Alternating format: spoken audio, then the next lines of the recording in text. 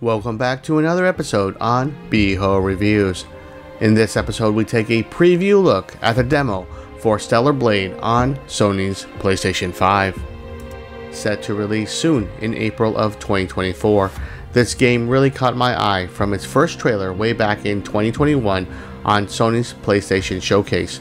Looking like a sci-fi fantasy action game I was really impressed in the design, look, and of course the Devil May Cry and Bayonetta style of action.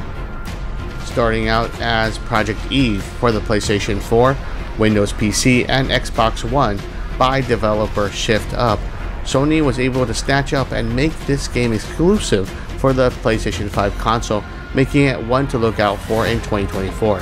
A very highly anticipated game for an action junkie like myself this game is right up my alley. The story takes place with humanity being driven from Earth after losing a war against alien invaders.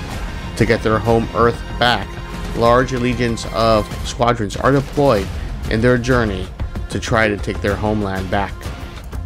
Honestly, the first thing that came into my mind after playing the intro of the game was Starship Troopers when they landed on the Bug planet and was decimated very quickly leaving very little in fighting back. An alpha Naytiba. Let's join them.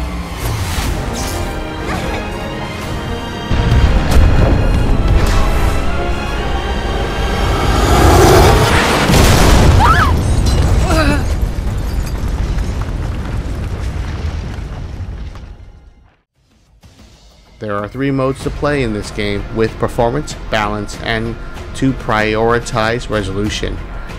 I chose the default of balance mode as it best represents a balance between gameplay and visuals. Although they all look similar, it really comes down to resolution to frames per second. Prioritizing resolution does give you a really nice picture, but at 30 frames per second, which for me is not a good trade-off for this action game as it just doesn't feel responsive enough and very clunky. 60 frames per second in performance and balance mode really holds up and feels so much smoother is really the way to go. The gameplay is a mix between fast action, hack and slash with Demon's Souls style of attacking.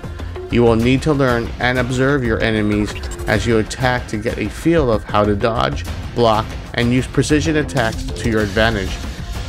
It's a process of trial and error over and over again until you get it right.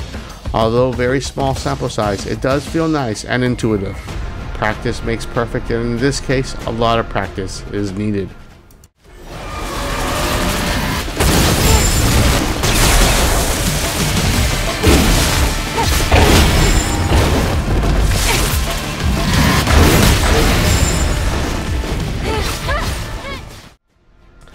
I did feel that the character was a bit too floaty with no weight when moving around. With transversing around the world, I wish that the character model would feel a bit more weight to ground them as they jump from platform to platform. The visuals and designs are what really draw you in. Very impressive, especially with the character models as the cutscenes are very well detailed and all in-game engine, which looks very impressive. A lot of care went into the designs of this game. The intro does transport you into their universe and quickly gives you a bunch of eye candy to mesmerize you.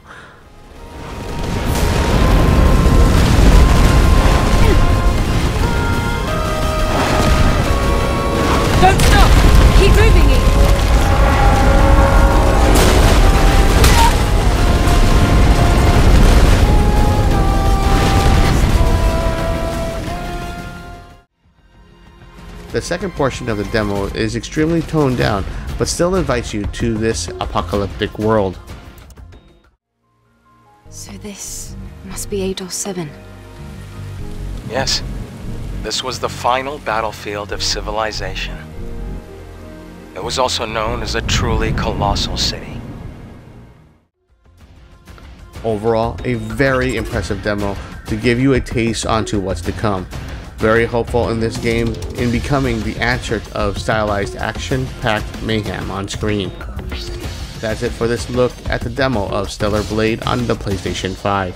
Please like and subscribe if you like my videos. Beho out and Greg, take us out of here and I will see you all next upload.